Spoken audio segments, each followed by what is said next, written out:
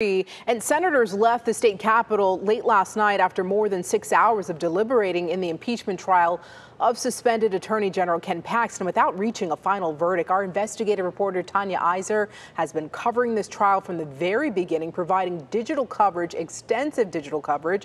She's been live throughout the trial with legal and political experts. Uh, Tanya, senators resumed deliberations about 30 minutes ago. What do we know at this point? I saw you on your cell phone, probably on the phone with your contacts.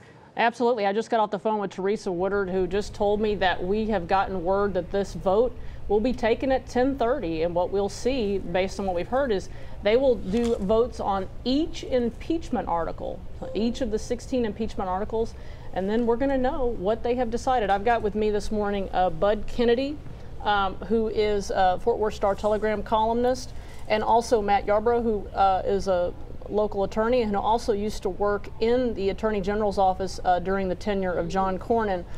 Bud, where do you think things stand? Well, I, I, I, have said all along, I think they knew going into the trial how they were going to vote.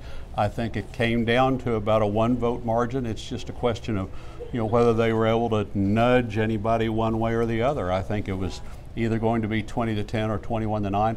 Uh, they may have been able to push the votes and say, hey, some more of y'all come on over so it doesn't look like a such a split. But uh, I think they already knew and they're ready to vote. Matt, what role do you think closing arguments, uh, the, the, closing arguments we heard yesterday, will, will play in this? I thought they were very powerful. Um, I thought, especially having Jim Leach with that last minutes on 10 minutes on rebuttal, uh, the, the moment he hit the podium and looked over at Buzbee and said, I loved Ken Paxton. He's been my friend. and the words that he said, I think, just knocked out Buzbee's entire closing argument and made it very personal for the senators there. Um, and, and, I also think that they really hit great themes uh, in, in, their closing about, um, you know, there is no coincidence that this is, uh, you know, in Austin, they went through each one of those incidences and that repetition of hitting what the contacts between Nate Paul and Paxton. So it'll be interesting to see if that closing by Leach, because I think having the House managers up there really took away also the politics and all the uh, conspiracy theory stuff that they've been dropping into this throughout their cross examinations. And I wonder if that was enough, Bud, to kind of move it just one more vote in their favor. You know, I, I think that those uh, have all been forgotten today. I think we're back to politics. And the Paxton supporters are saying, hey, let law enforcement and the FBI take care of Ken. Let's move ahead with conservative leadership and cons- conservative, uh, you know, movement in the Senate for the for the good of the people of Texas.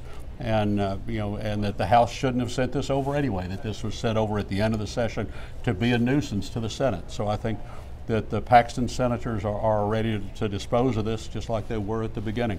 The, um, the, the, people who are for impeachment uh, are moved by some of the testimony, believe that justice needs to be done, and kind of probably thought there was something wrong all along. I, I love the theme in closing of service, you know, service to the state, service to Texans, and uh, how important that is.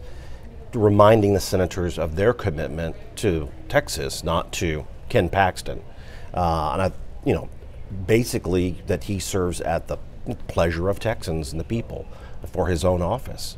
Right, and at 10:30, what we're going to what we're going to see is we'll have these 30 senators um, who will be making this decision. It's going to take the 12 Democrats plus at least nine Republicans to for the for them to sustain one of these articles, and then you know to Bud's point, we'll see did they get there or not? And we'll know, we should know probably by 11 o'clock where, where this is going to end up. Different senators may vote uh, yay or nay on different articles. And then, of course, if, if he's removed, then we another vote on whether to bar him from seeking future office.